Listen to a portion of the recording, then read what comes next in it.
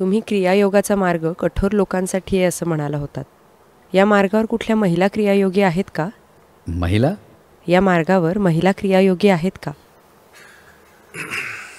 महिला क्रियायोगी होऊन गेल्या पण खूप कमी.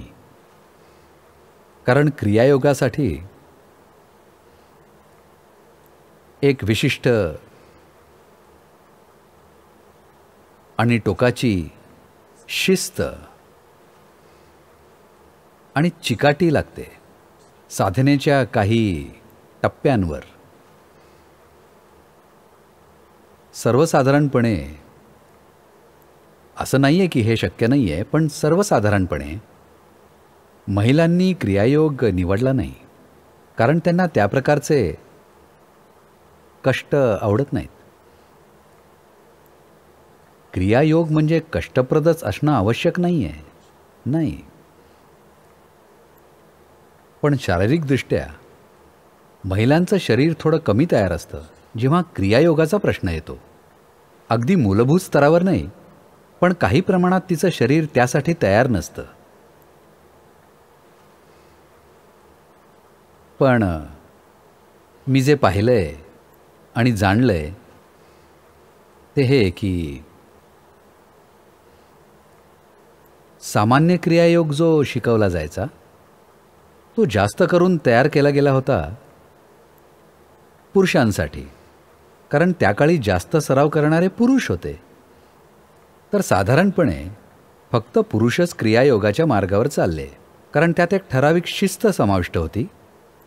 आणि त्यात एक ठराविक दुरावा लागत होता जीवनाच्या सामान्य परिस्थितीपासून जे या संस्कृतीत स्त्रियांसाठी अजिबात शक्य नव्हतं. कारण ती आठ किंवा नऊ वर्षाची होईपर्यंत तिचं लग्न झालेलं असायचं. पंधरा वर्षाची होईपर्यंत तिला मूल असायचं. त्यामुळे तिनं क्रियायोगासाठी लागणाऱ्या वातावरणात जाण्याचा प्रश्नच येत नव्हता. तर परंपरेनं असं स्थापित झालं की क्रियायोग म्हणजे केवळ पुरुषांसाठीच आहे. योग त्या स्वरूपाचा आहे म्हणून नाही पण सामाजिक परिस्थिती त्या स्वरूपाची होती म्हणून. तर क्रियायोगाच्या सर्व पद्धती ज्या रचल्या होत्या विविध गुरूंद्वारा त्या सर्व पुरुषांवर केंद्रित होत्या कारण शिष्य पुरुष होते. त्याप्रमाणे त्यांनी प्रक्रिया आखल्या. याचा अर्थ असा नाही की कुठलीच महिला क्रियायोग करत नव्हती. नाही अनेक करत होत्या पण त्यांची संख्या खूप कमी होती. तर त्यांच्यासाठी जास्त पद्धती आखल्या गेल्या नव्हत्या. But the systems that we have structured here are suitable for women also. पण आम्ही ज्या पद्धती इथं आखल्या आहेत त्या महिलांसाठी सुद्धा अनुकूल आहेत. त्यांना त्या चांगल्या जमत आहेत. महिला क्रियायोग करू शकतात का? हो करू शकतात. पण जर तिला शंभर टक्के फक्त क्रियायोगाच्याच मार्गावर जायचं असेल तर ते तिच्यासाठी थोडं अवघड आहे. तिचं शरीर तितकं तयार नाही आहे तर तिला थोडी जास्त मेहनत घ्यावी लागेल तिला ते करायचं असेल तर. पण सर्वात उत्तम हे असेल की जर एखाद्याला प्रगती करायची असेल तर जीवनाचे सर्व पैलू एकत्र करून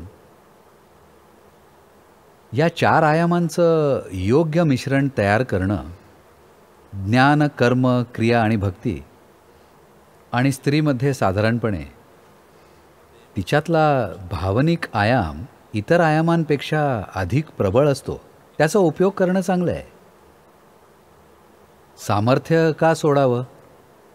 आणि अपंगत्व का घ्यावं? तिच्याकडे असलेल्या सामर्थ्याचा उपयोग करणं चांगलं.